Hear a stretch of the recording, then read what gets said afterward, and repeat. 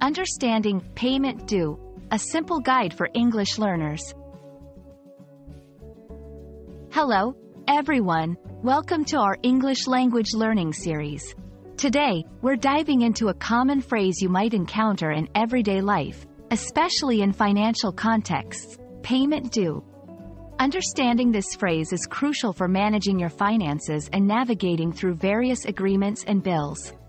So, let's break it down together. Payment due refers to the amount of money that a person or organization is obligated to pay by a certain date. It's commonly seen on invoices, bills, or financial agreements. The key components of this phrase are 1. Payment. This refers to the act of paying or the amount that needs to be paid. 2. Due. This implies a deadline or a specific date by which the payment must be made. Bills and invoices.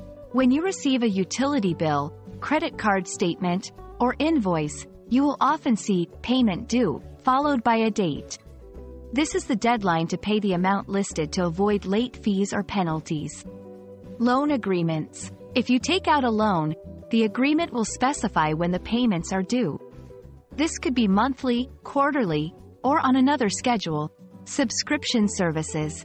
For services like streaming platforms, gym memberships, or magazines, payment due indicates when your next payment is required to continue the service.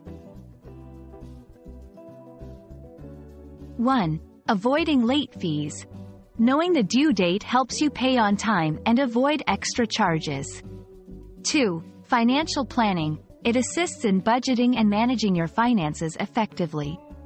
3. Credit score maintenance. Timely payments can positively impact your credit score. The payment due for my electricity bill is the 15th of every month. I received a notification that my credit card payment is due next week. Our rent payment is due on the first day of each month.